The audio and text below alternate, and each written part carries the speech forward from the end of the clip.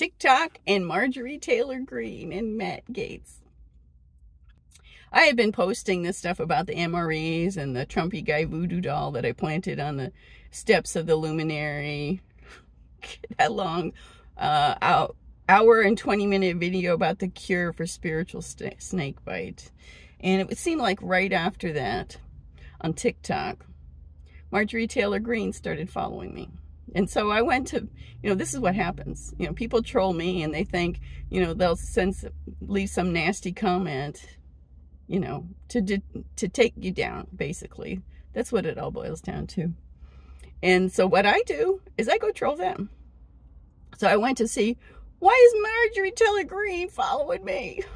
So I come to find out she has a ghost account on TikTok. She doesn't have anything relevant to post on TikTok because of the type of people who use TikTok. And so she's following like three times as many people who are following her, although she has nothing substantial to say. And so I sent her a message. And I said, why are you following me, MTG? and I sent her some emoticon snakes. And then I thought, well, you know what? These emoticon snakes work just as well as the real ones. It seems like.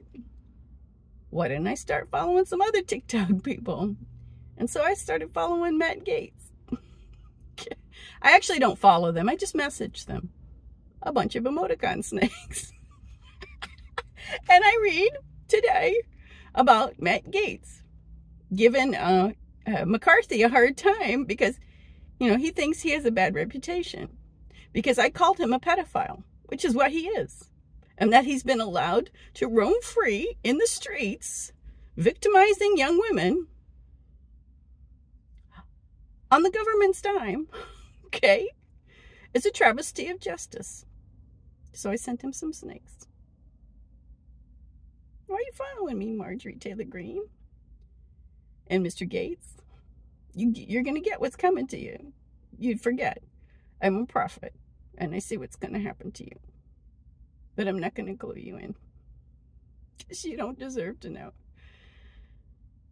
If you're going to troll me, whether you're just a nobody troll who's a Trump lover, or somebody like Marjorie Taylor Greene, who considers themselves influential, uh, I promise you, you're going to get some emoticon next coming to you.